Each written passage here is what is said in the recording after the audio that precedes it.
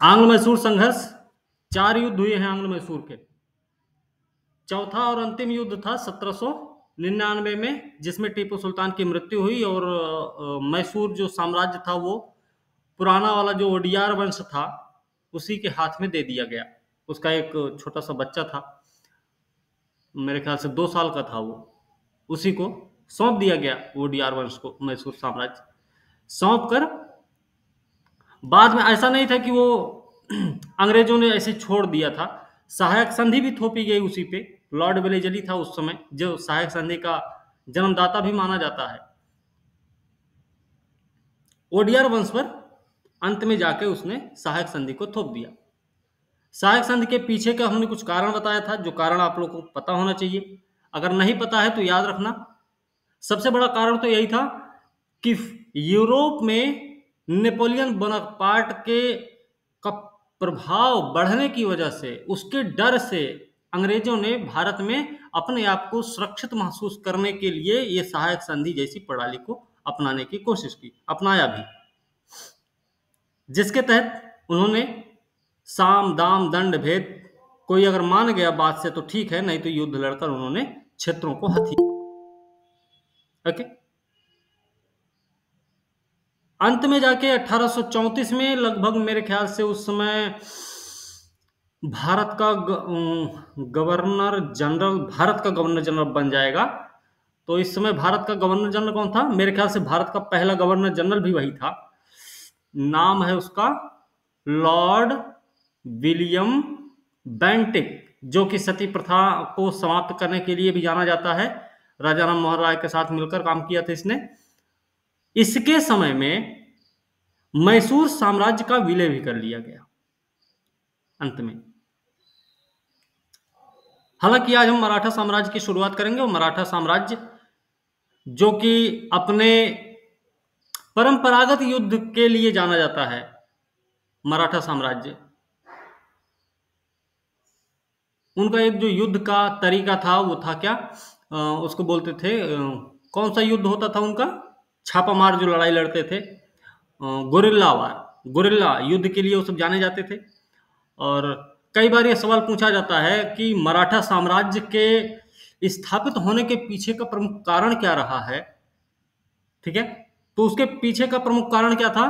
तो पीछे का उसके प्रमुख कारण ये था कि उनमें राष्ट्रवाद की भावना मज़बूत हुई, राष्ट्रवाद की भावना जगी। उनकी भौगोलिक स्थिति, उनके साम्राज्य को स्थापित करने में महत्वपूर्ण भूमिका निभाई। उनका जो एक युद्ध कौशल था, छापामार युद्ध वाला, उसने, और साथ में सबसे बड़ी बात तो थी एक नेतृत्व, एक अच्छे नेतृत्वकर्ता की, छत्रपति शिवाजी महाराज जैसा व्यक्ति। उनका एक शासक हुआ जो मराठा साम्राज्य के जन्मदाता माने जाते हैं। मराठा साम्राज्य की बात करेंगे तो मराठा साम्राज्य बड़ा लंबा चौड़ा एरिया में था। मराठवाड़ा, जिसको आज हम मराठवाड़ा विदर्भ का क्षेत्र बोलते हैं, वो पूरा का पूरा क्षेत्र कर्नाटक के आसपास तक फैला हुआ क्षेत्र था, जो मरा, इसमें मराठों के साम्राज्य में आता था। अरब सागर के पूरब से लेकर सतपुड़ा के दक्षिणी हिस्से तक फैला हुआ मराठवाड़ा क्षेत्र, जिसमें मुंबई, खानदेश, बरार, कोंकण, ये सब शामिल है। आज के समय वर्तमान समय की बात कर रहे हैं ये मराठा शक्ति का केंद्र हुआ करता था। सत्रहवीं शताब्दी में मुगलों के पतन की भी मुगलों के पतन की शुरुआत, पतन की शुरुआत होने के साथ ही जो सिलसिला स्वतंत्र राज्यों की स्थापना के साथ शुरू हुआ था, उससे, उसमें सबसे अधिक शक्तिशाली राज्यों में थे मराठा। ठीक है? याद रखना। मुगलों के अंतिम समय में याद रखो। पतन का समय ना याद रखो। अंतिम समय में ही याद रखो। ठीक है? ये हमें याद रखना चाहिए और उसमें सबसे ज़्यादा शक्तिशाली जो रहे हैं, वो रहे अपने मराठा साम्राज्य। ठीक है? चलिए, इसमें सबसे पहले ना बात करेंगे हम छत्रपति शिवाजी महाराज की।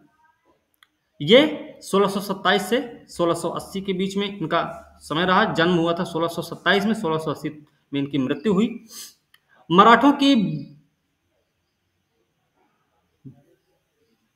बिखरी हुई शक्ति को एकत्रित करने के उद्देश्य से महाराष्ट्र में ये बिक्री लिखा हुआ, ये बिखरी है, बिखरी।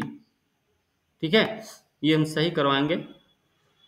ये भी देखिए गड़बड़ हो गया है। शक्ति को एकत्रित करने के उद्देश्य से महाराष्ट्र में छत्रपति शिवाजी द्वारा स्वतंत्र राज्य की स्थापना की गई। इनका जन्म बात करें तो सोलह सौ सत्ताईस, नौ मार्च का समय है, दिन है। शिवनेर एक जगह है, वहीं पर इनका जन्म हुआ। इनके पिता जो शाहजी भोसले थे। वो बीजापुर सुल्तान की सेवा में चार लाख की जागीर प्राप्त करके बेंगलुरु के अधीनस्थ शासक हुआ करते थे।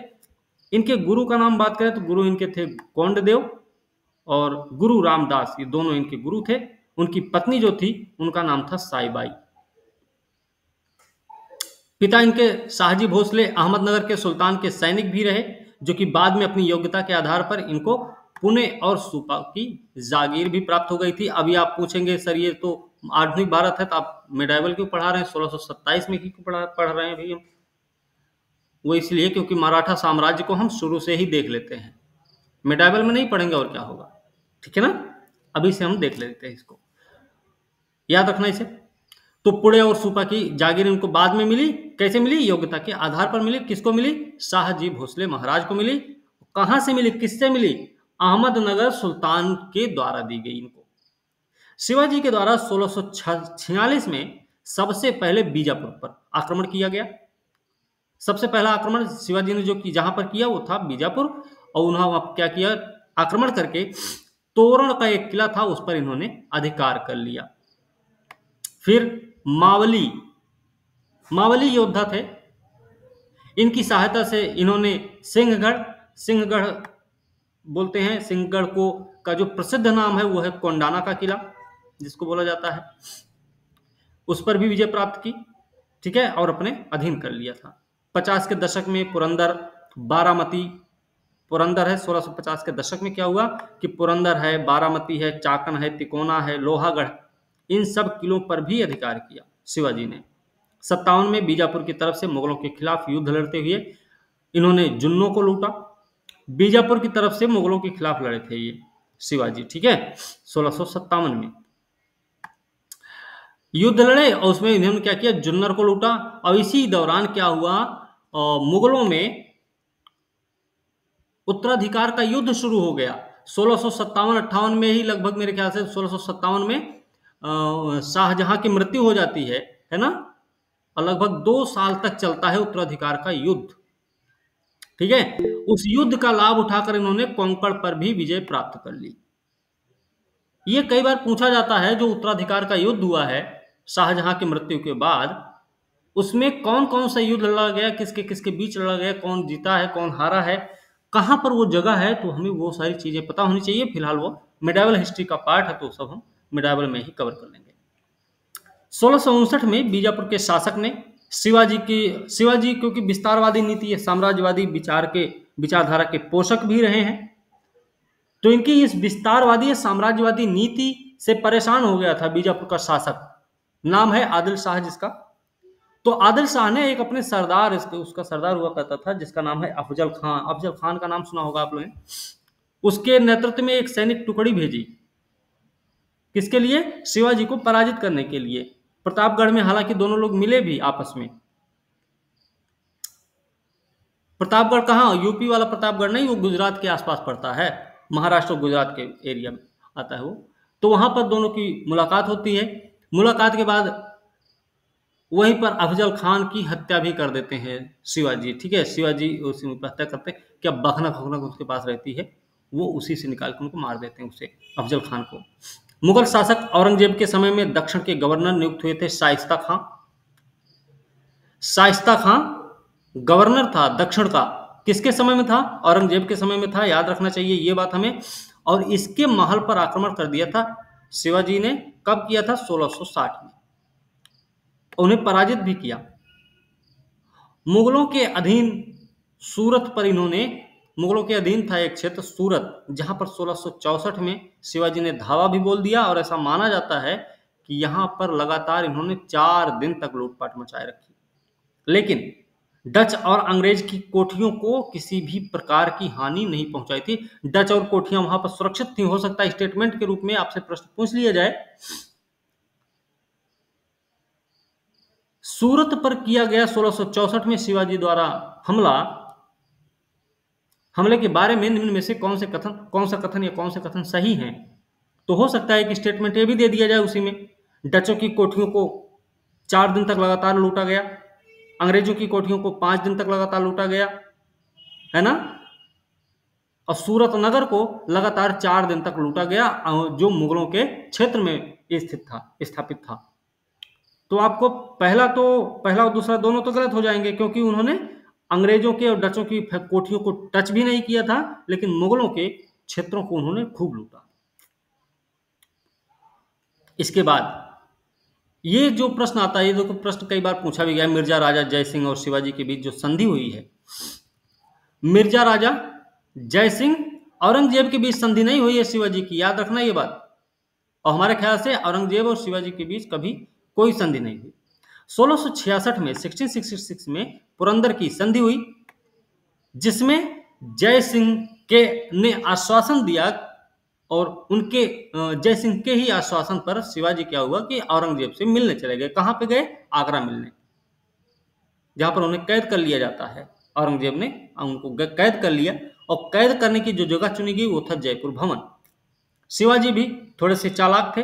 चालाक ऐसे थे, कुछ चतुराई थोड़ी दिखाए, उनका एक सौतेला भाई था। हीरो जी फरजंद नाम है उनका। उनकी दोनों की शक्ल एक जैसी मिलती जुलती थी। तो उन्होंने अपने उस भाई को उस जेल में छोड़ा और फल की टोकरी वोकरी में बैठ के वो कैसे भी करके उनके चंगुल से भाग निकले। 1670 में मुगलों के साथ युद्ध हुआ और जो किले खो गए थे इनके, शिवाजी के जो किले छीन लिए गए थे, उन किलों को फिर से इन्होंने वापस ले लिया। उसमें से जो कोंडाना का किला था, जिसको सिंहगढ़ का किला कहते हैं उसको फिर से जीता इन्होंने 1670 में। ठीक है? इसी द, इसी में क्या हुआ? इसी के बाद इनको अपना राज्याभिषेक भी करवाना था। तो इनका राज्याभिषेक करने के लिए बनारस बनारस के जो प्रसिद्ध विद्वान थे गंगा भट्ट की देखरेख में सोलह में छत्रपति शिवाजी महाराज के का राज्याभिषेक हुआ। वो भी रायगढ़ में हुआ। आपको पता होना चाहिए, रायगढ़ में इनका हुआ है राज्याभिषेक और छत्रपति की इन्होंने उपाधि धारण की, यहीं से, यहीं पर ये छत्रपति बन जाते हैं। चौहत्तर में क्या हुआ? कांची के निश्चलपुरी गोस्वामी द्वारा फिर से इन्होंने अपना राज्याभिषेक करवाया। पहली बार इन्होंने करवाया चौहत्तर में जाके, किससे? गंगा भट्ट द्वारा, जो कि काशी के प्रसिद्ध विद्वान हैं। दूसरा, दूसरी बार जब इन्होंने करवाया अपना राज्याभिषेक तो कांची के निश्चलपुरी गोस्वामी गोस्वामी द्वारा तांत्रिक विधि से अपना राज्याभिषेक करवाया था सोलह में ही। याद रखना चौहत्तर पचहत्तर नहीं है, चौहत्तर में ही इन्होंने दोनों दोनों बार करवा दिया। इस समय एक यूरोपीय था, नाम है जॉर्ज ऑक्सानडेन जो इस समय राज्याभिषेक के दौरान मौजूद भी था साथ में। इसके बाद दक्षिण भारत की राजधानी, इन्होंने अपनी जो राजधानी थी दक्षिण भारत की, उसे जिंजी को बनाया। जिंजी का किला आप लोगों ने पढ़ा होगा उसके बारे में, बड़ा बोलते हैं बड़ा मज़बूत किला था और बड़ा सुरक्षित किला था वो, जिंजी का किला। ऐसा माना जाता है कि उस पर हमला हमला जल्दी नहीं होता, बहुत सेफ़ जगह पर मौजूद था वो। इनका संघर्ष फिर अभी अबिसिनियाई सीधियों से जंजीरा टापू के लिए भी हुआ। ठीक है?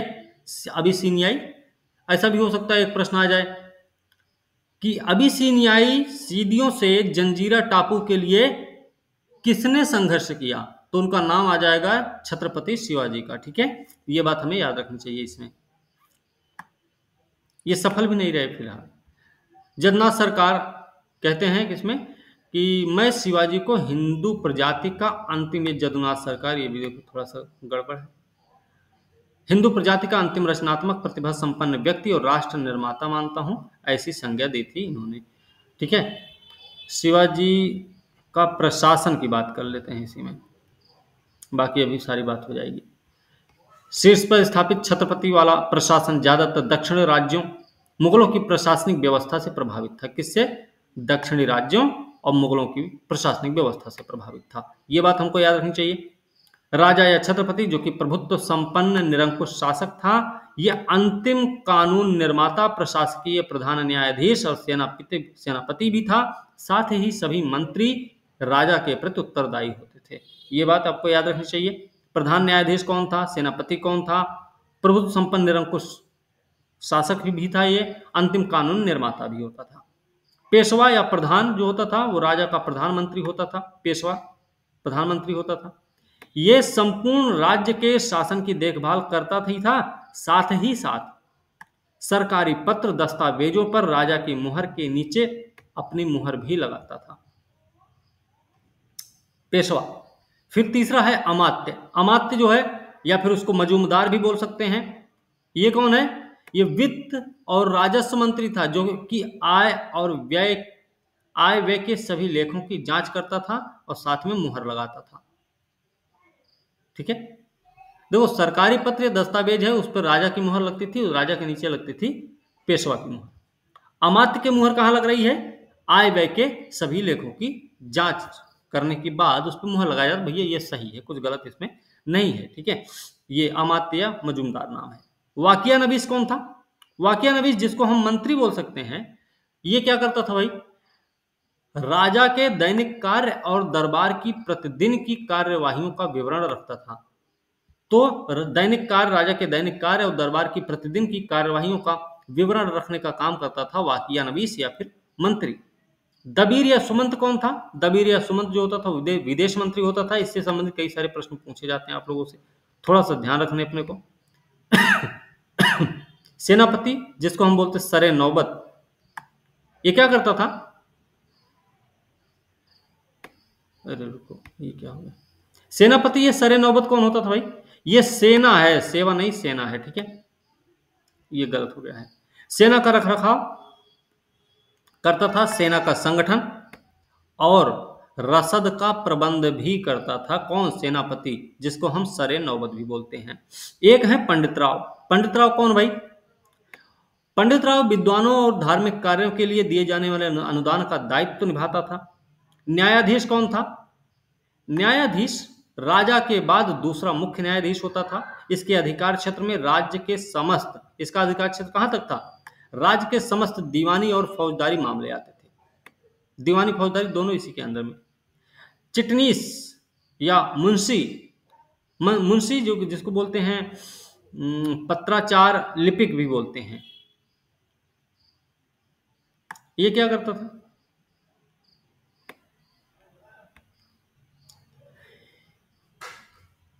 ये चिटनीस या मुंशी जो पत्राचार लिपिक होता था ना, ये लिखा पढ़े का काम करता था। लेखा जो, ये जो संचित वंचित करता था जो लेखे होते थे ना, उनको इकट्ठा करके रखने का काम करता था। ये चिटनीस, मुंशी जो होता था। शिवाजी के इस अष्टप्रधान में पंडित राव और न्यायाधीश, इन दोनों के अलावा सभी मंत्रियों को अपने और असैनिक कर्तव्यों, अपने सैनिक और असैनिक कर्तव्यों के प्रति सैनिक कमान सॉरी शिवाजी के अष्टप्रधान में पंडित राव होते थे। पंडित राव के साथ साथ न्यायाधीश और इसके अलावा जो मंत्री होते थे, उनको अपने असैनिक कर्तव्यों के साथ साथ सैनिक कमान कमान भी संभालनी पड़ती थी। इन्होंने क्या किया? जागीर प्रथा को समाप्त किया था। शिवाजी ने जागीर प्रथा को समाप्त कर अपने अधिकारियों को नकद वेतन देना शुरू किया था। नाम क्या है? शिवाजी। ठीक है, ये भी याद रखना। अच्छा ये सेना है। सेना का क्या मतलब होता था?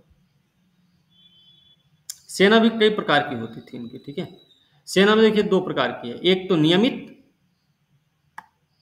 स्थायी इन सब के अलावा मुख्य रूप से पैदल घुड़सवार सेना रखी जाती थी, ठीक है? और इसमें घुड़सवार के अंतर्गत आते थे बरगीर। बरगीर कौन है? राज्य की ओर से घोड़े और शस्त्र मिलते थे इनको, ठीक है? ऊपर वाला तो ठीक है, ये बरगीर याद रखना। घुड़सवार होते थे जिनको राज्य की ओर से घोड़े और शस्त्र दिए जाते थे और एक होता था सिलेदार। सिलेदार जो अपना अपना अस्त्र शस्त्र रखते थे। बरगीर को राज्य की ओर से सब कुछ मिलता था। सिलेदार को अपना ही रखना पड़ता था भाई। अब इसमें देखिए कुछ, इनमें क्रम है। जैसे क्या बोलते हैं उसको? पद सोपान एक प्रकार से समझ लो। एक टुकड़ी जो होती थी, टुकड़ी, एक टुकड़ी पच्चीस अश्वरोही के बराबर। एक हवलदार 50 घुड़सवार के बराबर। ठीक है? और एक जुमालदार एक जुमालदार जो होता था, पाँच हवलदार के बराबर होता था। एक हजारी कौन होता था? वो दस जुमालदार के बराबर होता था। एक पंच हजारी किसके बराबर होता था? पाँच हजारी के बराबर होता था। पाँच पाँच हजारी के बराबर। सरे नौबत सरे नौबत जो होता था, वो पंच हजारी के बराबर होता था, ठीक है? ये थोड़ा सा पशुपान मतलब सबसे छोटा कौन हुआ? अश्वारोही। सबसे बड़ा कौन हुआ? सरे नौबत, ठीक है? सेना के मामले में बात कर रहे हैं। सबसे बड़ा हुआ सरे नौबत, और सबसे छोटा कौन हुआ? अश्वारोही, ठीक है? इतना भाई याद रखना है, ठीक है ना? सरे नौबत संपूर्ण घुड़सवार सेना का प्रधान होता था। दो, जो सेना होती थी, वो दो कमान में बटी हुई थी। शिवाजी ने कोलाबा में एक जहाजी बेड़े का निर्माण भी करवाया, जो कि दरिया, सारंग और नायक के अधीन था। नायक नायक आंदोलन के बारे में भी आप लोगों ने सुना होगा मेरे ख्याल से। जो मराठों के ही अंतर्गत सेना सैनिक होते थे बाद में वो खेती होती करने लगे। दक्कन का जो विद्रोह हुआ था दक्कन का विद्रोह 1875 वाला उसमें नायकों का ही तो मुख्य रोल रहा है ना? है ना? अभी भी पढ़े थे। फिर से नहीं बोलोगे कोई? मत बोलो सबके सब ऐसे रहो। बैठे रहो गुमसुम भय सुम है। देखो सपना बैठे से हम तो समाधि लगा ही रहे तुम लोगों के लिए। चिंता मत करो। गादा कहीं राजस्व प्रशासन। क्या है राजस्व प्रशासन? मराठों का राजस्व प्रशासन कैसा था? मलिक अंबर द्वारा अपनाई गई रैयतवाड़ी व्यवस्था पर आधारित शिवाजी द्वारा अपनी, अपनाई गई राजस्व व्यवस्था थी। शिवाजी ने जो राजस्व व्यवस्था अपनाई वो कैसी थी? मलिक अंबर वाली राज, राज, राजस्व व्यवस्था जो उन्होंने रैयतवाड़ी व्यवस्था अपनाई थी। मतलब ऐसा हो सकता है कि आपसे बात कल ही पूछ ही ली जाए कि भाई जो शिवाजी की राजस्व व्यवस्था थी वो किस पर आधारित थी? या कैसी थी? किस प्रकार की थी? क्या किया उन्होंने? रैयतवाड़ी रैयतवाड़ी मतलब क्या होता है? रैयतवाड़ी का मतलब होता है कि किसानों के साथ जैसे अंग्रेज़ों का जो रैयतवाड़ी बंदोबस्त रहा है वो क्या रहा है? उन्होंने सीधे सीधे किसानों से मेलजोल बढ़ाया। उन्होंने सीधा बोला किसानों से कि भाई, आप लोग जो भी राजस्व होगा, सीधे हमें देंगे। किसानों ने सीधे सीधे सरकार से अपना संपर्क साध लिया। ठीक है ना? यही काम हुआ था रैयतवाड़ी में। और रैयतवाड़ी के बारे में एक चीज़ और याद रखना। रैयतवाड़ी व्यवस्था को दक्कन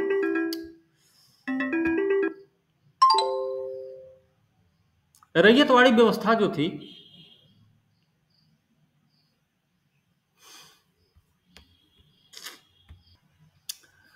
दक्षिण भारत में रैयतवाड़ी व्यवस्था को अपनाने का प्रमुख कारण यह था कि दक्कन क्षेत्र में कोई ऐसी ऐसा जमींदार वाला सिस्टम नहीं था दक्षिण भारत में। कोई जमींदार प्रथा नहीं थी, कोई जमींदार नहीं था। इसलिए वहाँ पर रैयतों के साथ समझौता किया गया, अंग्रेज़ों के द्वारा। कब किया गया था? 1820 उसमें करीब किया गया था मेरे ख्याल से। 1820 का दशक था मेरे ख्याल से, बंबई क्षेत्र में, मद्रास क्षेत्र में। ठीक है? तो ये थोड़ा सा याद रखना, दक्षिण भारत में रैयतवाड़ी व्यवस्था को अपनाने के पीछे प्रमुख कारण क्या था? एक चीज़ तो ये पता होना चाहिए। दूसरा ये भी पता होना चाहिए कि रैयतवाड़ी व्यवस्था की प्रमुख विशेषता क्या थी? और वो प्रमुख विशेषता यही थी। ठीक है ना? कि किसानों को का सम किसानों का संपर्क सीधे सीधे सरकार से साधा गया। बिचौलिए का कोई काम नहीं रहा। हालाँकि बहुत सफल व्यवस्था नहीं मानी जाती है। बाद में हम क्या पढ़ते हैं? जब ना 1875 का दंगा पढ़ते हैं, दक्कन विद्रोह जब पढ़ते हैं 1875 का तो उसमें हमें बात साफ़ साफ़ नज़र आ जाती है कि इस व्यवस्था का प्रमुख सॉरी इस दंगे का, इस विद्रोह की विद्रोह का प्रमुख कारण में से एक यही है कि रैयतवाड़ी व्यवस्था को उन लोगों ने पसंद ही नहीं किया। क्यों नहीं किया? क्योंकि लोगों की जमीनें छिनती चली गई। नायक लोग क्या थे? किसान थे। पहले सैनिक थे, हुआ करते थे। बाद में किसान बन गए। उनकी ज़मीन छीनी जाने लग गई। ठीक है ना? तो अठारह सौ पचहत्तर में वो दंग, विद्रोह के रूप में सामने आ गया, जिसको हम दक्कन विद्रोह कहते हैं। और दिक्कत दक्कन विद्रोह खास करके महाराष्ट्र क्षेत्र में ही हो रहा है। पश्चिमी क्षेत्र भारत का है, ये भी याद रखना। तो इनकी जो व्यवस्था रही भूराजस व्यवस्था, वो मलिक अंबर के व्यवस्था जैसी रही, रैयतवाड़ी व्यवस्था पर आधारित रही। इन्हीं के निर्देश पर अन्नाजी दत्तों ने क्या किया 1679 में एक विस्तृत भू सर्वेक्षण भी करवा लिया। अन्नाजी दत्तो नाम है उनका। सोलह का समय है। भू सर्वेक्षण करवाया, नई राजस्व प्रणाली को निर्धारित किया। किसी भी बाहरी शक्ति के आक्रमण से सुरक्षा करने के बदले में वसूल किया जो धन इन्होंने, जो टैक्स वसूला, उसको बोले चौथ। चौथ मतलब एक ऐसा सैन्य कर जो कि विजित क्षेत्र के कुल उपज का एक चौथाई हुआ करता था। इसके बारे में याद रखना, ये प्रश्न पूछा भी जाता है तो आप लोगों को ये पता होना चाहिए कि ऐसा क्या है इसमें। चौथ का मतलब क्या है? एक ऐसा सैन्य कर था जो कि विजित क्षेत्र के कुल उपज का एक चौथाई हुआ करता था। जबकि मराठा आक्रमण से बचने के लिए आसपास के राज्यों द्वारा मराठों को दिया जाने वाला जो टैक्स होता था, उसको बोलते थे सरदेशमुखी। सरदेशमुखी क्या था? कुल इनकम का दस परसेंट। सरदेशमुखी के नाम पे आप पड़ोसी राज्य क्या करते थे? अपनी सुरक्षा को सुनिश्चित करते थे, अपने क्षेत्र को सुरक्षित रखना चाहते थे किससे? मराठों के भय से, मराठों के लूटपाट, मराठों मराठों के आक्रमण से। सुरक्षित रखने के लिए उन्होंने सरदेशमुखी जैसे टैक्स पे किए। और चौथ क्या था? चौथ एक ऐसा कर है एक सैन्य कर है जो विजित क्षेत्र के कुल उपज का एक चौथाई हुआ करता था। तो आपसे यह भी पूछा जा सकता है कि हमेशा सरदेशमुखी चौथ कर से अधिक हुआ करता था। तो बात सही होगी ना?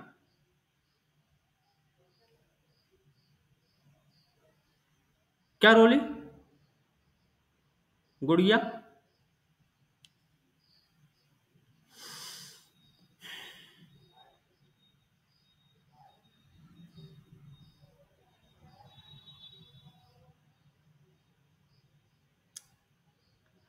चौथ, एक चौथाई है और टैक्स जो सरदेश मुखी है वो एक बटा दस है। तो सरदेश मुखी ज़्यादा है कि चौथ ज़्यादा होगा? चौथ ज़्यादा होगा।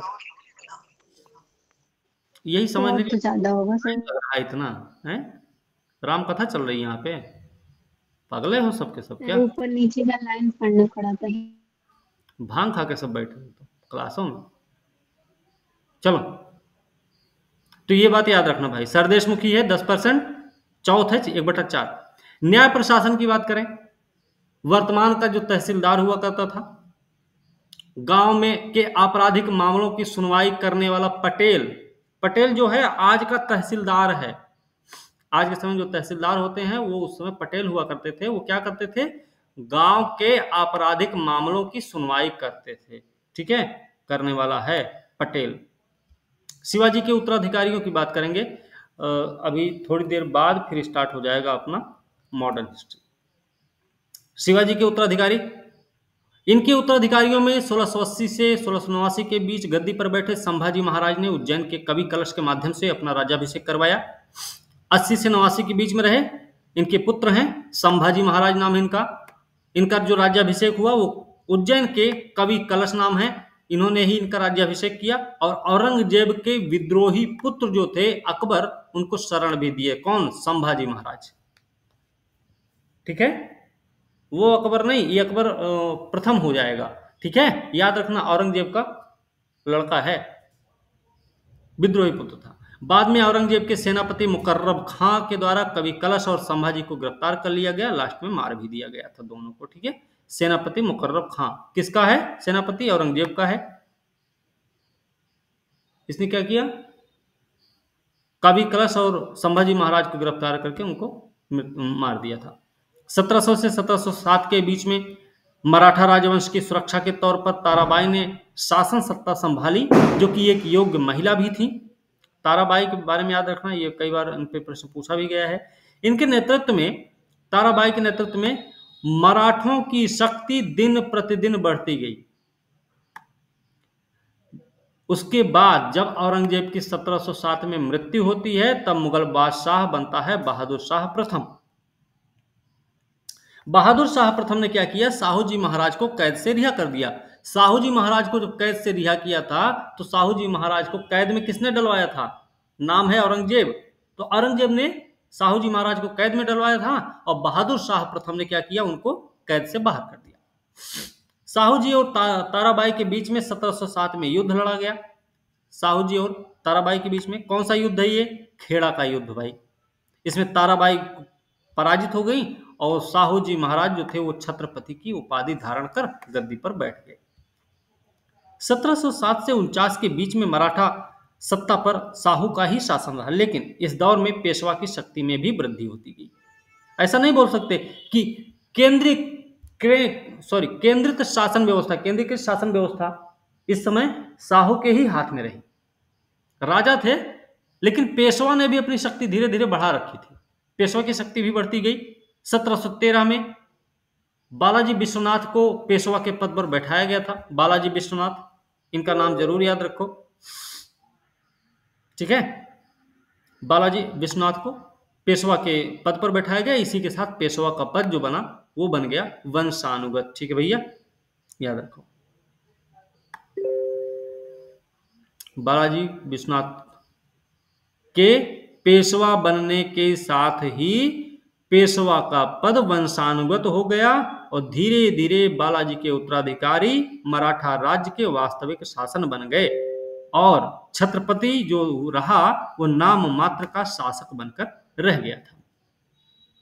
एक तो प्रश्न यह बन जाएगा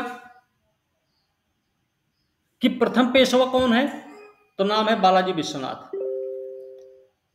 दूसरा प्रश्न बन जाएगा कौन से पेशवा के बाद पेशवा का पद वंशानुगत हो गया? तो नाम है बालाजी विश्वनाथ। ठीक है? ये थोड़ा सा हमको याद रखना है।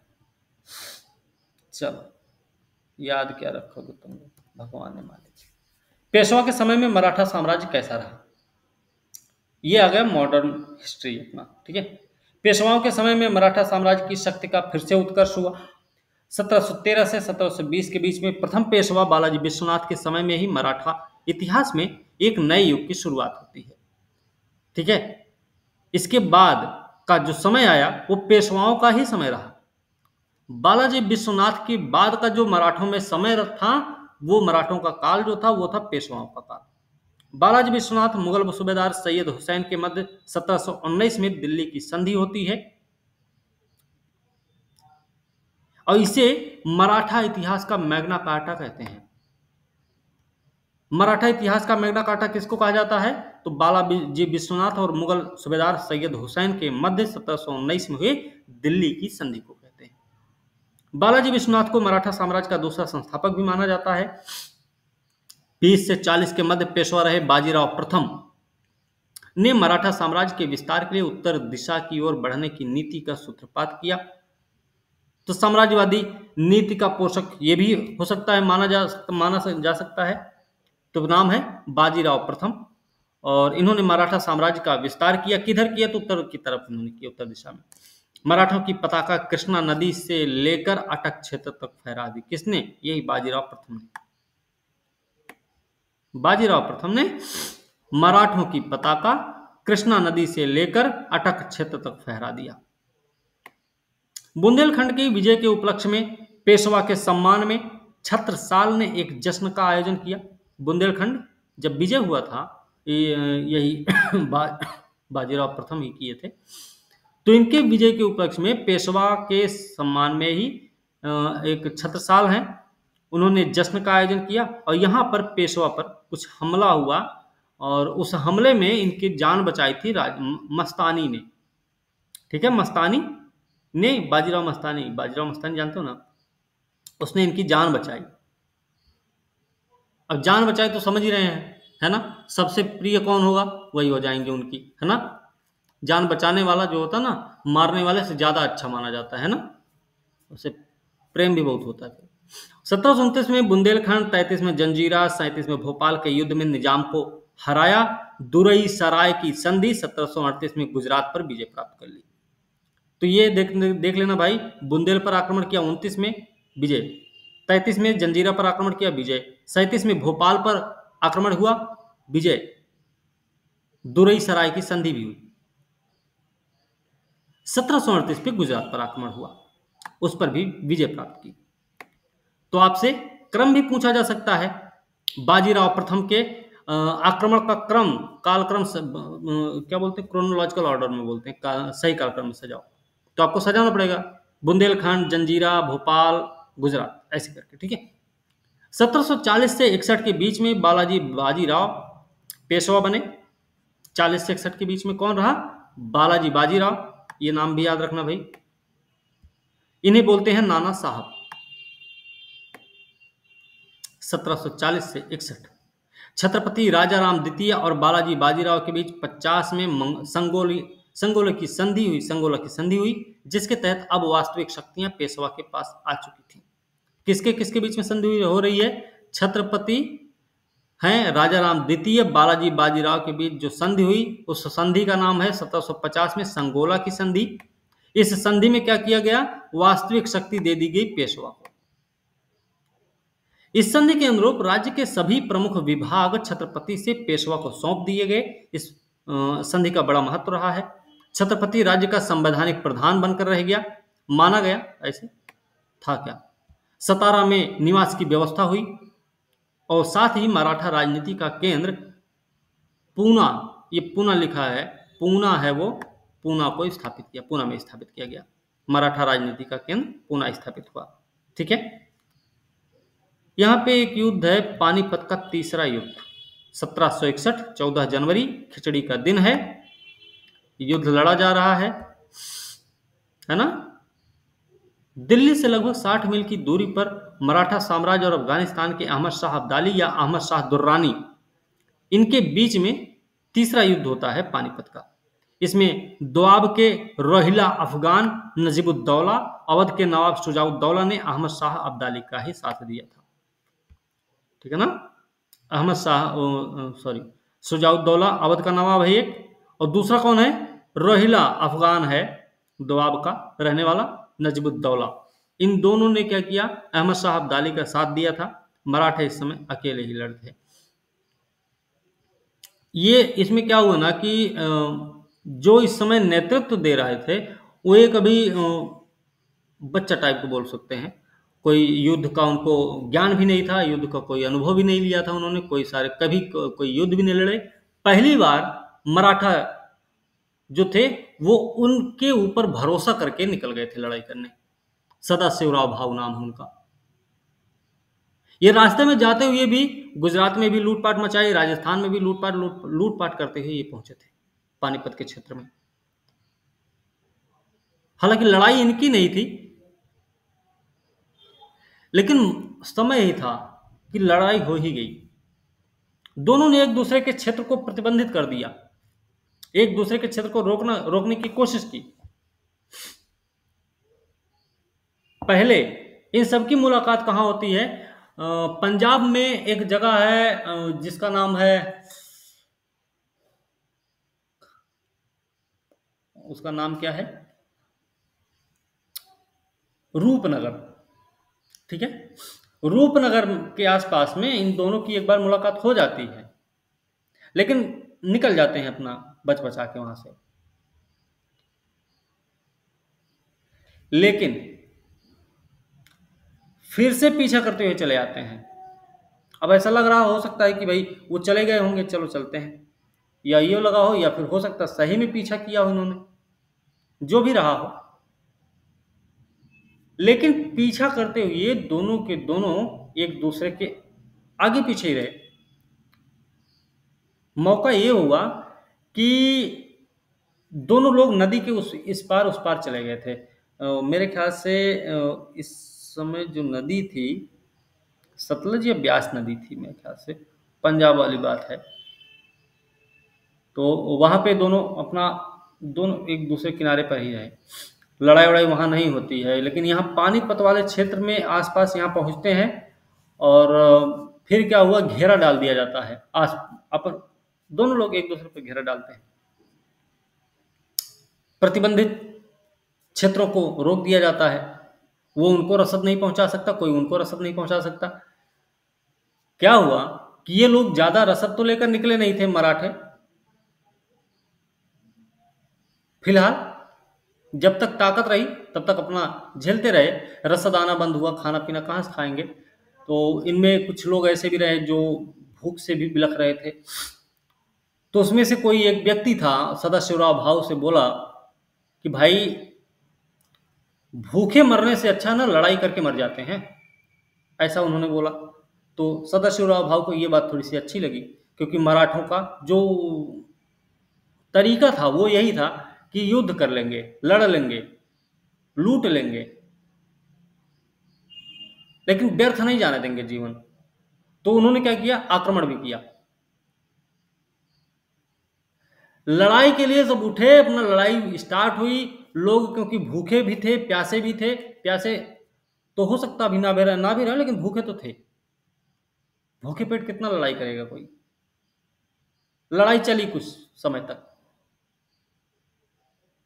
क्योंकि अहमद साहब दाली के पास कोई दिक्कत नहीं थी, क्योंकि वो इस तरफ़ था, दिल्ली दिल्ली की तरफ़ पहुँचा हुआ था।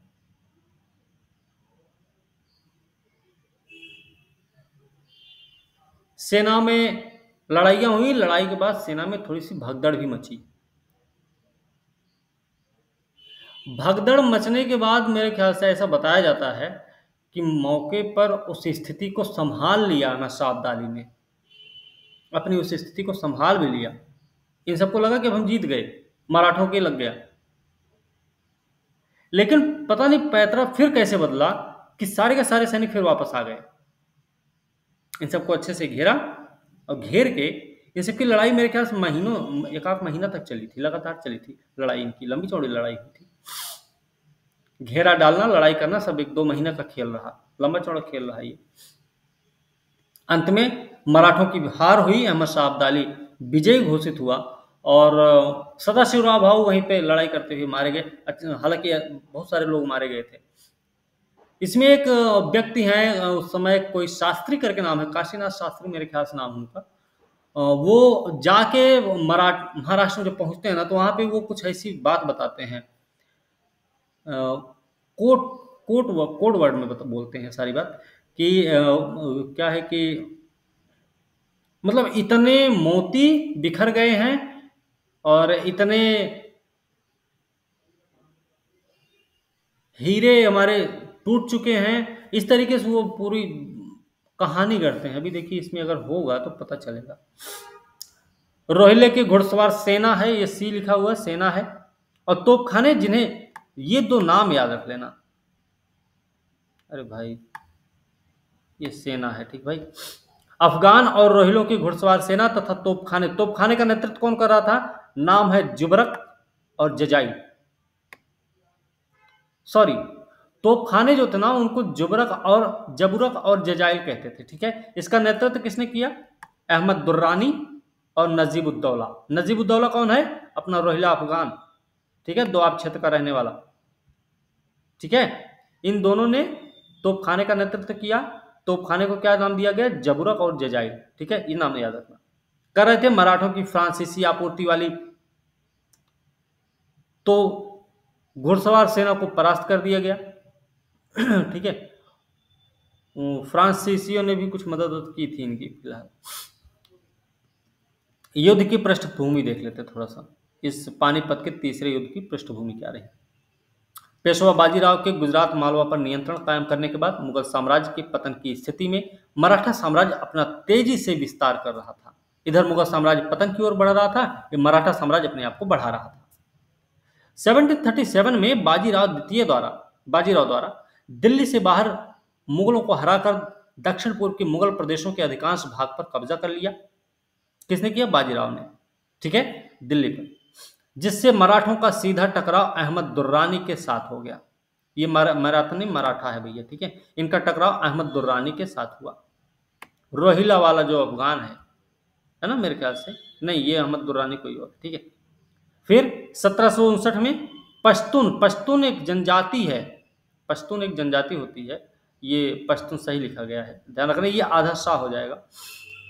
सत्रह सौ उनसठ में पश्तून जनजातियों की मदद से पंजाब में छोटे मराठा सरदारों के खिलाफ कार्रवाई में लाभ प्राप्त होने के बाद भारतीय सहयोगियों के साथ मिलकर मराठों के खिलाफ एक व्यापक गठबंधन में गंगा के दोआब के रोहिला अफगानों, अफगान भी इसमें शामिल हो गए।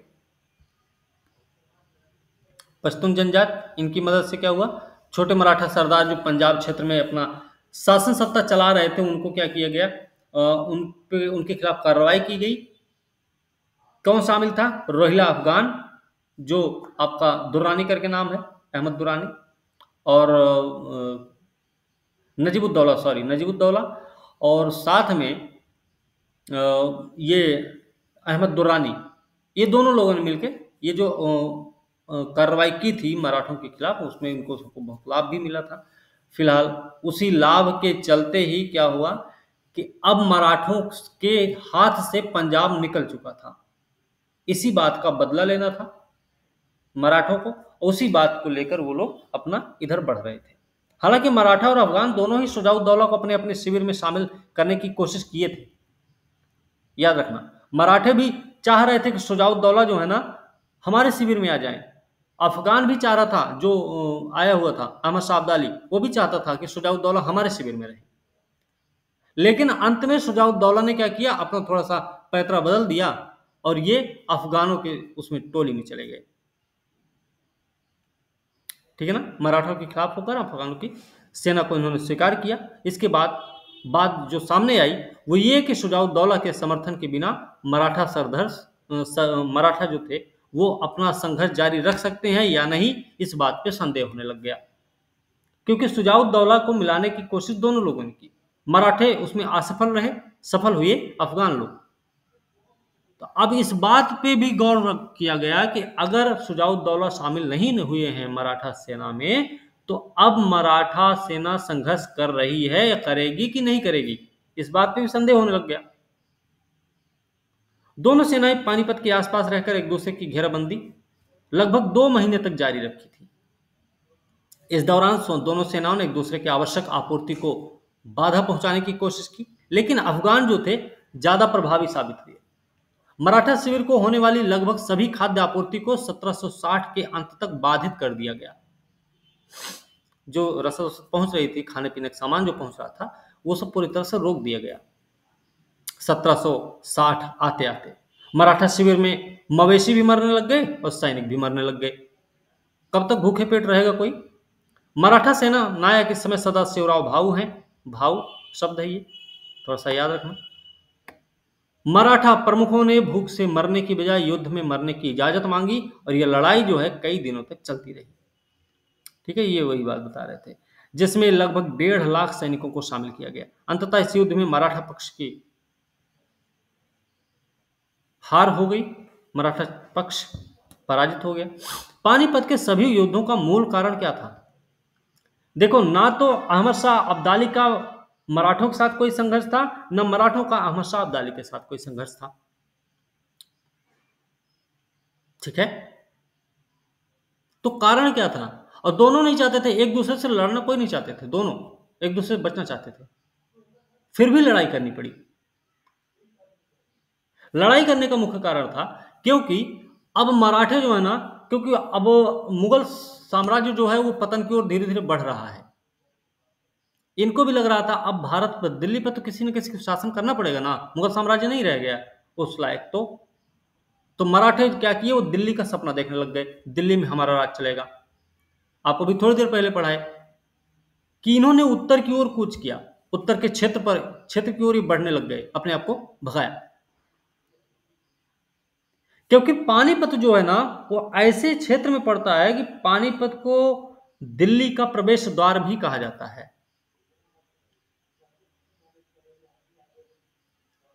अगर कोई भी आक्रामक दिल्ली पर कब्जा करना चाहता है तो उसको पानीपत के रास्ते से ही गुजरना पड़ता है। ये एक मुख्य कारण रहा इसका। नहीं तो इन दोनों की कोई रंजिश आपसी रंजिश नहीं थी। ठीक है, पहली चीज़। अभी जो दिल्ली पर आक्रमण करने वाले होते थे, जो उत्तर पश्चिम क्षेत्र से आ रहे थे, पानीपत के रास्ते, उनके लिए दो रास्ते। एक तो है खैबर दर्रा, और दूसरा है पंजाब का रास्ता। खैबर, गोमल, बोलन, ऐसे दर्रों का नाम सुना होगा आप लोगों ने। तो खैबर दर्रा और पंजाब से ही होकर इनको जाना पड़ता था। पानीपत के तीनों ही युद्ध का विवाद पानीपत शहर कभी नहीं रहा, हमेशा याद रखना। पानीपत युद्ध जो हुए हैं, तीन युद्ध हुए ना, प्रथम, द्वितीय और तृतीय युद्ध, ये तीनों युद्ध के लिए पानीपत शहर कभी जिम्मेदार ही नहीं रहा। क्योंकि उसका जिम्मेदार था दिल्ली। ऐसा भी एक बार मेरे ख्याल से प्रश्न आया हुआ यूपीएससी में ही पूछा गया है, क्या कारण रहे?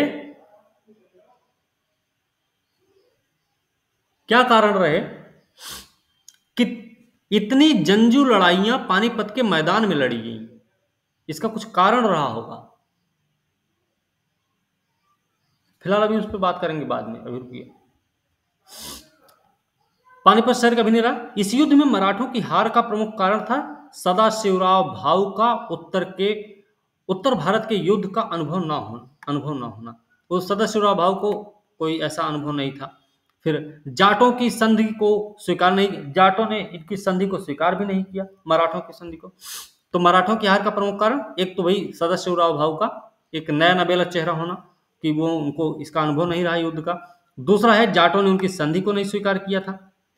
ये दूसरा कारण हो गया। तीसरा कारण है, मल्हार राव होलकर मैदान छोड़कर भाग गया था। मल्हार राव होलकर। इनकी लूट मार की प्रवृत्ति ने क्या कर दिया? हिंदू राजाओं को भी परेशान कर रखा था। इस वजह से कई सारे स्थानीय राजा भी मराठों का साथ नहीं दिए। ये कुछ कारण रहे हैं पानीपत में मराठों के हार का। जहाँ मुगल साम्राज्य के पतन के बाद मराठा प्रभावशाली होकर उभर रहे थे, वहीं बालाजी बाजीराव की मृत्यु के बाद मराठा दरबार जो था, आंतरिक षड्यंत्र का केंद्र बन गया। बाजीराव, बालाजी बाजीराव की मृत्यु के बाद ऐसी स्थिति हुई है कि मराठे तो मुगल साम्राज्य तो पतन की ओर बढ़ रहा है।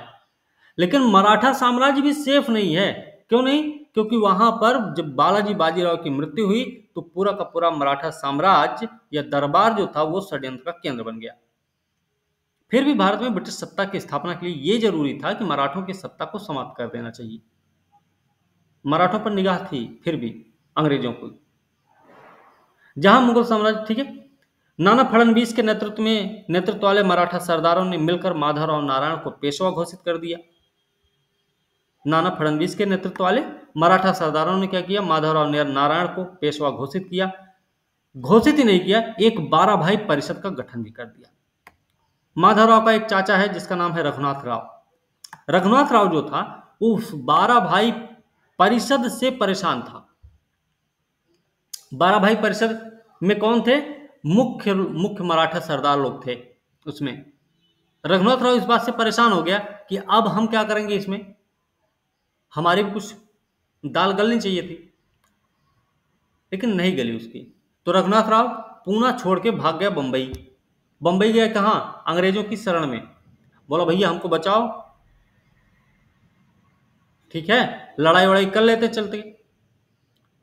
लड़ाई करेंगे तो कुछ ना कुछ आपको मिलेगा भी। अब क्या मिलेगा तो वही बताएगा सूरत की संधि लेकिन किया था। लड़ाई से पहले सूरत की संधि कर लिया। है ना? सूरत किया था। हाँ। मजबूर होकर मुंबई भागा रघुनाथ राव, अंग्रेज़ों से अंग्रेज़ों की शरण ली और नाना फड़नवीस के नेतृत्व में मदद मांगी। सॉरी, नाना फड़नवीस के खिलाफ में मदद मांगी अंग्रेज़ों की जो कि आंग्ल मराठा युद्ध की पृष्ठभूमि तैयार हो गई, जिसके चलते। आंग्ल मराठा युद्ध तीन हुए हैं, पचहत्तर से बयासी, अठारह तीन से पाँच, अठारह सत्तर से अठारह अठारह। पहला आंग्ल मराठा युद्ध है। मराठा दरबार के आंतरिक संघर्ष शुरू होते हुए अंग्रेज़ों को मराठा संघ में हस्तक्षेप करने का अवसर मिल गया। अच्छा यहाँ तक बताओ, कोई दिक्कत है आप लोगों को? यहाँ तक कोई समस्या किसी को भाई? किसी को? रोली? नो नहीं है। गुड़िया आपको? ओके।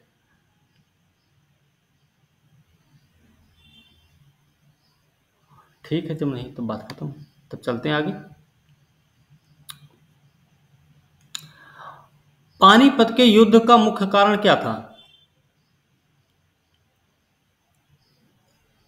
या पानीपत का युद्ध मराठे जो हार गए, उसका प्रमुख कारण क्या था? उसके कुछ प्रमुख कारण रहे हैं। कुछ रहे हैं कि नहीं रहे हैं? लिखते उखते हुए कि नहीं सब लोग हैं, बस कथा चल रही भैया सुन रहे हम। मराठा दरबार का आंतरिक संघर्ष शुरू हुआ। इसी में क्या हुआ? अंग्रेज़ों को एक मौका भी मिल गया भैया चलो हस्तक्षेप करने का मौका मिलेगा। रघुनाथ राव ने क्या किया? वो उनकी इच्छा को पूरी भी कर दिया। सूरत की संधि कर रहा है सबसे पहले जाके।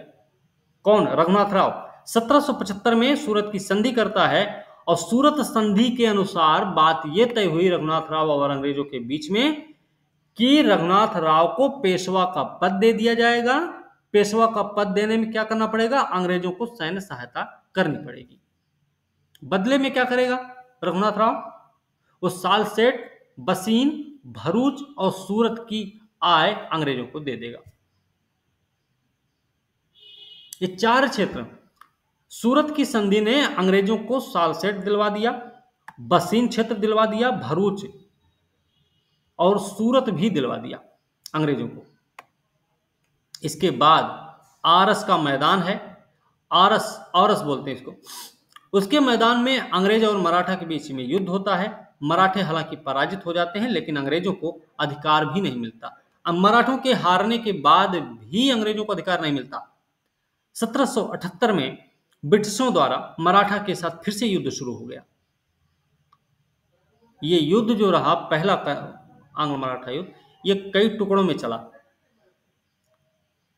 जो पहला टुकड़ा पहला टुकड़ा तो ये रहा कि इधर एक युद्ध खत्म हुआ, लेकिन कोई फ़ायदा नहीं हुआ। अनिर्णायक रहा, एक प्रथम वाले में पहला भाग जो रहा। दूसरा भाग जब शुरू होता, सत्रह सौ अठहत्तर में फिर से आक्रमण शुरू होता है इसमें तेलगांव का युद्ध होता है। पहले वाले भाग में मराठे हार गए थे।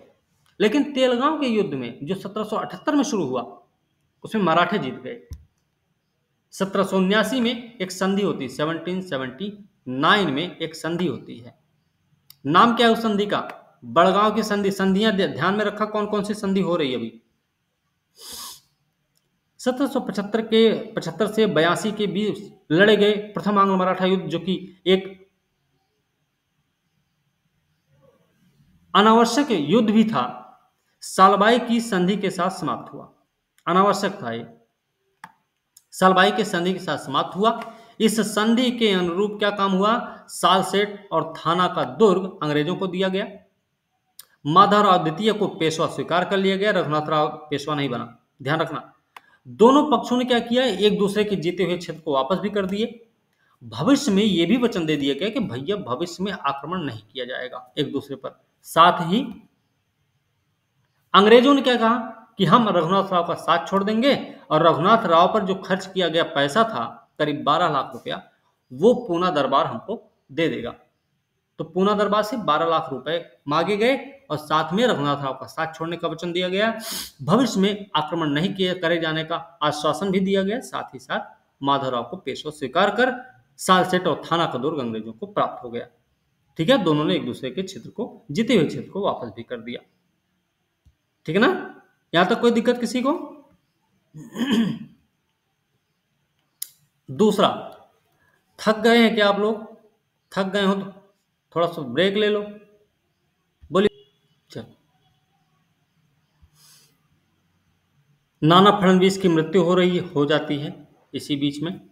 और मराठा साम्राज्य में कुछ अनिश्चितता का वातावरण भी फैला है। अंग्रेज़ फ्रांसीसी भय मतलब नेपोलियन बोनापार्ट का भय सता रहा है इनको। और जिसकी वजह से जो बेलेजली है, वो गवर्नर जनरल बन के आ जाता है, सत्रह सौ निन्यानवे में करीब आता है। सत्रह सौ निन्यानवे, अट्ठानवे में आ जाता है लॉर्ड बेलेजली, ठीक है?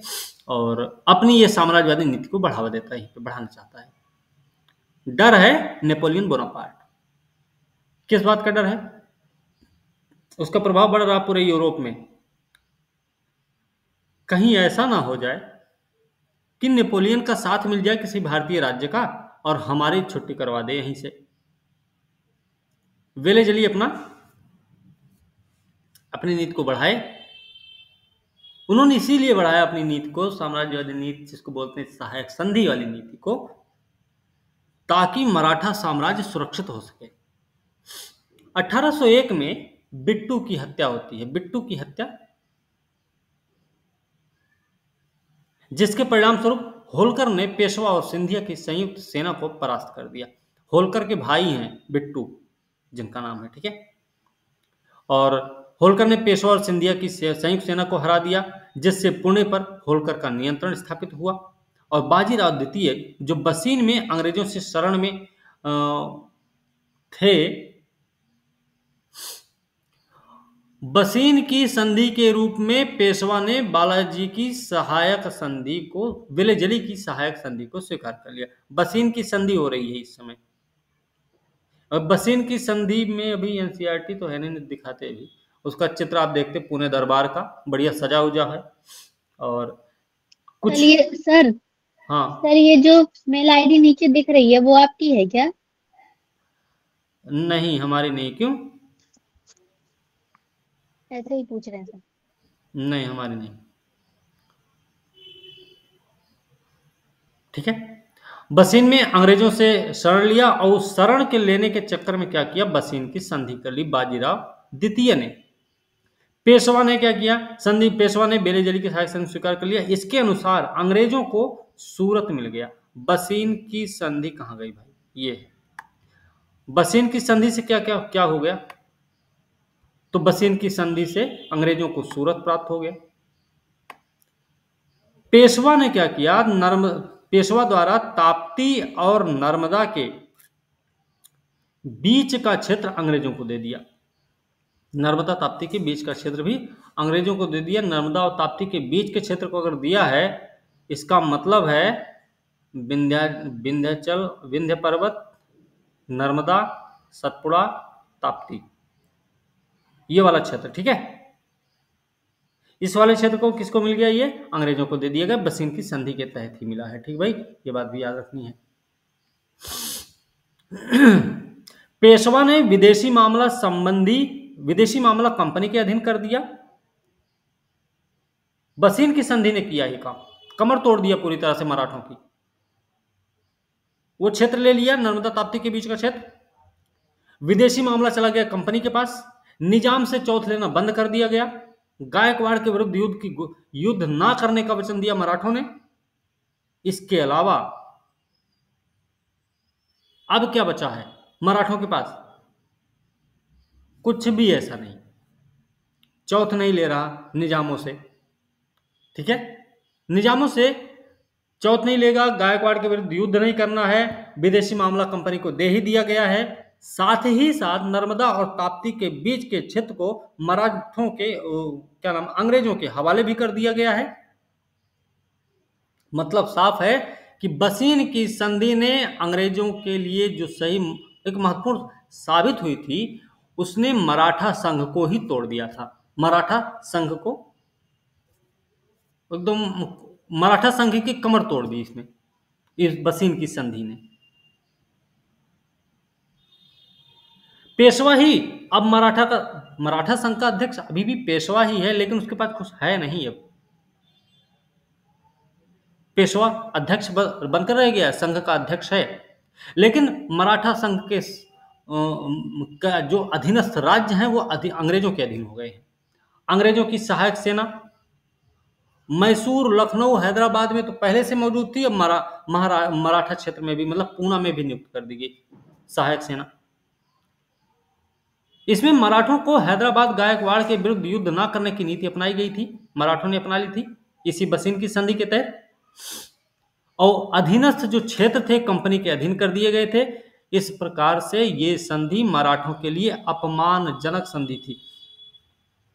हो सकता है कंधे पे तलवार रख के बोली गई हो कि संधि करो, नहीं तो गर्दन उड़ जाएगी। ऐसा भी हो सकता है।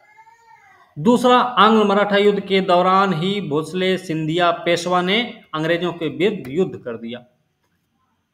संधि थोड़ी समय के लिए रही। उस संधि को, संधि की शर्तों को ये लोग भूल गए। ये आक्रमण कर दिए। तीनों लोग मिलकर भोसले, सिंधिया, पेशवा, तीनों लोग, अंग्रेज़ों के खिलाफ। परिणाम क्या हुआ? भोसले, सिंधिया और होलकर के साथ तीन अलग अलग संधियाँ हो गई। 1803 में देवगांव की संधि हुई भोसले परिवार के साथ। कटक और वर्धा का पश्चिमी भाग अंग्रेज़ों को प्राप्त हो गया। देवगांव की संधि के तहत आपको याद रखना चाहिए ये बात। 1803 में ही सुरजी अर्जन गाँव की संधि होती है सिंधिया के साथ, जो कि गंगा यमुना का दुआब वाला भाग, अहमदनगर का दुर्ग, भरूच और गोदावरी का क्षेत्र अंग्रेज़ों को दे दिया गया। फिर 1805 में होती राजपुर घाट की संधि। किसके साथ? होलकर के साथ। चंबल का उत्तरी भाग बुंदेलखंड अंग्रेज़ों को मिल गया। अब क्या होगा? मतलब इस युद्ध ने मराठा शक्ति का अंत तो नहीं किया था यह बात सही है। दूसरे आंग्ल मराठा युद्ध ने मराठों की शक्ति का अंत तो नहीं किया, लेकिन मराठों को कहीं का छोड़ा भी नहीं। दूसरा आंग्ल मराठा युद्ध, जो बसीन की संधि से से शुरू हुआ और राजपुर घाट की संधि के साथ समाप्त हो रहा है।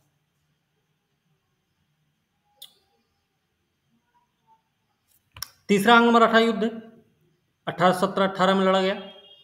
बेले जली के बाद, अब देखो, इस समय सत्रह अठारह का समय है मतलब वॉरन हेस्टिंग्स आएँगे। वॉरन हेस्टिंग्स, देखो, तीसरा जो आंग्ल मराठा युद्ध था ना, वो सिर्फ़ एक बहाना था। हकीकत तो ये थी, ये समाप्त करना चाहते थे एक जनजाति है, उनको पिंडारियों का दमन चाहते थे लोग। पिंडारी कौन थे? पिंडारी वो लोग थे कि आते थे पहाड़ से उतर के आक्रमण कर देते थे, हमला बोलकर, लूटपाट करके भाग जाते थे, उसी पहाड़ी में फिर भाग जाते थे। वो बड़े निपुण थे इसमें जो कौन सा लड़ाई होता था छापा मार वाला युद्ध, गोरिल्ला युद्ध में बड़े निपुण थे पंडारी।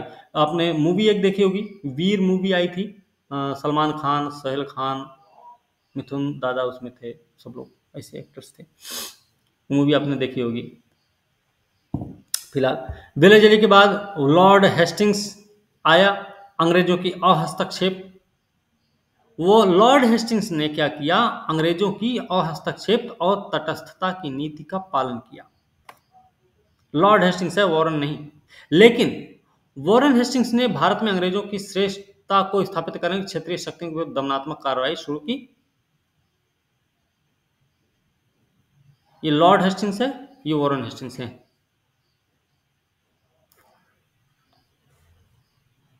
बेले जली के बाद से लेकर लॉर्ड हेस्टिंग्स के आने तक अंग्रेज़ों की हस्तक्षेप तटस्थता की नीति का पालन हुआ।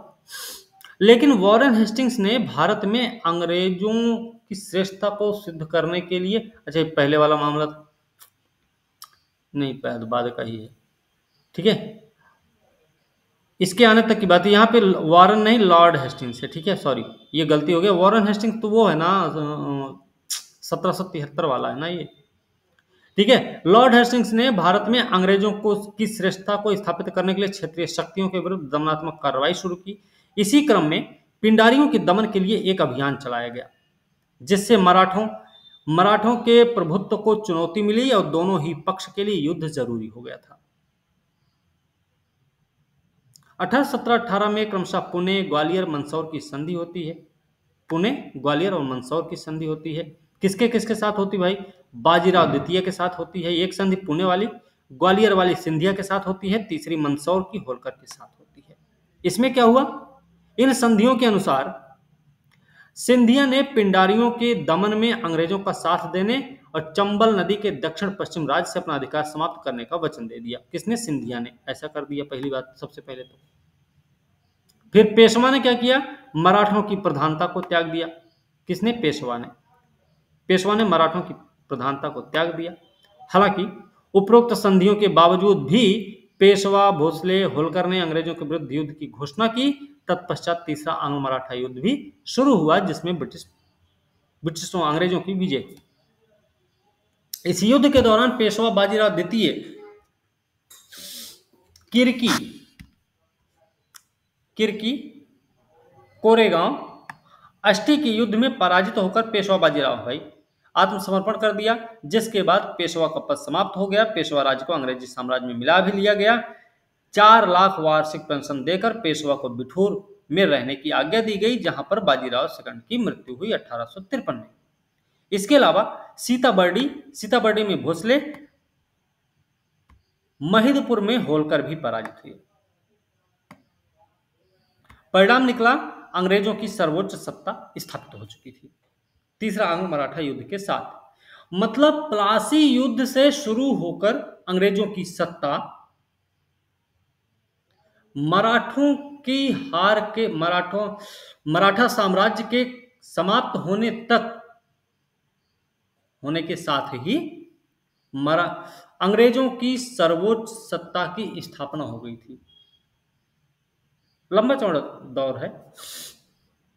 सत्रह से 1817 तक का मामला 18 तक का मामला है सॉरी इस बीच में देखो, प्रश्न कई सारे बन सकते हैं। पीटी में भी बन सकते हैं मेंस में भी बन सकते हैं। थोड़ा सा आप लोग मेंस के लिए भी प्रश्न तैयार रखा करो, थोड़ा लिखा करो। अगर पढ़ते तो है ना, लिखते लिखा करो थोड़ा बहुत। मज़ा आएगा, नहीं लिखोगे तो गड़बड़ा जाओगे भाई। सबको बता दे रहे हैं। आम, घास, सही, गलत, जो समझ में आए सब लिखो। और जिसके पास टाइम नहीं है, उसके लिए कोई बात नहीं। फ़िलहाल हम बोलना तो बंद कर दिए हैं। अब बोलेंगे भी नहीं किसी को, आप लोगों को। जो लिखोगे, वो अपने लिए, नौकरी करोगे अपने लिए, नहीं पाओगे तो अपने लिए। हम, हमको कुछ देने वाला कोई है नहीं, तुम लोग, ठीक है? और कुछ देने, दे भी नहीं पाओगे तुम लोगों को। मराठों की असफलता का कारण क्या था? मराठों की परंपरागत युद्ध नीति को त्याग कर पैदल सेना।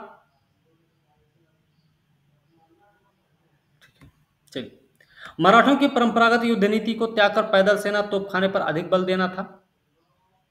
ठीक है? परंपरागत युद्ध नीति उन्होंने त्याग दी थी। कौन सी? वही वाली, जो शुरुआत में लड़ते थे। कौन सा था वो? छापामार वाला युद्ध जो था, उसको क्या बोलते हैं? नाम बहुत भूलते हैं बार बार उसका गोरेलावार घुड़सवार से सेना की इन्होंने अवहेलना की। ठीक है? पहला कारण तो ये असफलता था दूसरा, नाना फडणवीस, महादजी सिंधिया, माधवराव की तरह योग्य नेतृत्व दोबारा नहीं मिले मराठा को। तीसरा, अंग्रेज़ों ने युद्ध से पहले कई सारी क्षेत्रीय शक्तियों को अपना मित्र बना लेते थे और फिर शत्रु को अकेला कर देते थे। चौथा, मराठों की कमज़ोर नौसैनिक शक्ति पानी में बड़े मज़बूत थे, ब्रिटिश चौथ और सरदेश मुखी नीति जो थी, वो क्या की? मराठों के साथ जो पड़ोसी राज्यों के संबंध थे ना, वो बड़े कटु हो चुके थे। ठीक है? कटुता से भर गए थे। इसीलिए उनको सहयोग भी किसी नहीं मिला। मराठे बलपूर्वक एकत्रित की गई धनराशि पर निर्भर थे। इनके पास कोई स्थायी प्रावधान नहीं था धन का। अब ये स्थिति बिगड़ जाएगी तो क्या होगा? भैया, कहाँ से इकट्ठा करोगे? लूटपाट कहाँ से मचाओगे फिर, है ना? उसके बाद इनकी बीच में एक जो सबसे बड़ी समस्या आई, वो दरबार में जो षड्यंत्र रचे जाने लग गए, आंतरिक संघ षड्यंत्र रचे गए। आंतरिक आपसी गुटबंदी, असंगठित मराठा संघ। इन्होंने भी क्या किया, मराठा राज्य को कमज़ोर ही कर दिया। इस नीति से निजी स्वार्थ को बढ़ावा मिल रहा था। इस वजह से मराठा संघ कमज़ोर होता चला गया। ठीक है? ये कुछ कारण रहे हैं जिसमें मराठों, मराठे जो है पराजित हुए। इसमें देखिए दो तीन प्रश्न भी हैं। बेलेजली की विस्तारवादी नीति ने भारत से अंग्रेज़ी प्रभुसत्ता को मजबूती प्रदान की। स्पष्ट कीजिए। लॉर्ड हेस्टिंग्स हेस्टिंग्स ने साम्राज्यवादी नीति का अनुसरण करते हुए क्षेत्रीय शक्ति के रूप में मराठा संघ को समाप्त कर दिया। मराठों में आंतरिक संघर्ष ही मराठा शक्ति को समाप्त करने में अहम भूमिका निभाई। मराठों की असफलता के प्रमुख कारणों का वर्णन करें। ऐसे कुछ प्रश्न आपको दिए गए हैं इसमें, ठीक है? तो आप लोग चाहें तो उसको भाई लिख सकते हैं। कोई भी एक प्रश्न आप उठा के मन करे तो की बात है, बाकी नहीं मन करेगा तो कोई दिक्कत नहीं।